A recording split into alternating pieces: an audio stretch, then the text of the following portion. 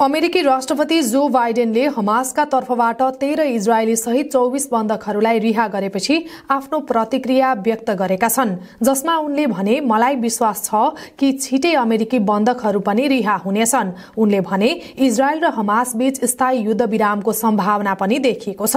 बाइडेनले Hamas र Israel बीचको संघर्षमा चार दिनको पजका लागि अमेरिकी कूटनीतिक प्रयासहरूको पनि प्रशंसा गरेका छन्। साथै यो सम्झौताको अवधि थप बढ्ने र आउने दिनहरूमा अधिक बन्धकहरू रिहा हुने पनि आफूलाई विश्वास लागेको बताए।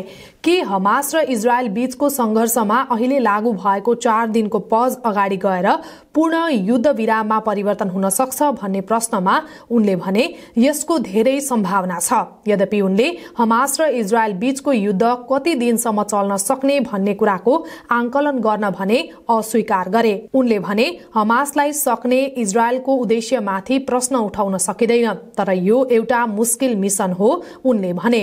हमासले शुक्रबार तेह्र इजरायली सहित चौबिस बन्धकहरूलाई छोडेको थियो। त्यसपछि इजरायलले पनि उनाचालिस प्यालेस्टिनी कैदीहरूलाई रिहा गरेको थियो। कतार र इजिप्टको मध्यस्थतामा हमास र इजरायल बीच चार दिनका लागि युद्ध विराम गर्ने सहमति भएको हो। त्यस दौरान हमासले पचासजना बन्दी रिहा गर्ने जनाइएको छ। इजरायलले एक सय पचास प्यालेस्टिनी बन्दी छाड्नेछ। बाँकी रहेका अरू बन्दीलाई विभिन्न चरणमा छाडिने जनाइएको छ। त्यसमध्ये नेपालका विपिन जोशी पनि रहेका छन्। नेपालको परराष्ट्र मन्त्रालयका अनुसार उनी पनि हमासकै नियन्त्रणमा रहेका छन् तर उनी पहिलो चरणमा छुटेनन्। नेपालले उनलाई छुटाउन पहल गरिरहेको छ। बिहिबार नेपाल भ्रमणमा आएका कतारका विदेश राज्य मन्त्री सुल्तान बिन साद अल मुरैखीसँग नेपालले विपिनको रिहाईका लागि पहल गरिदिन आग्रह गरेको थियो।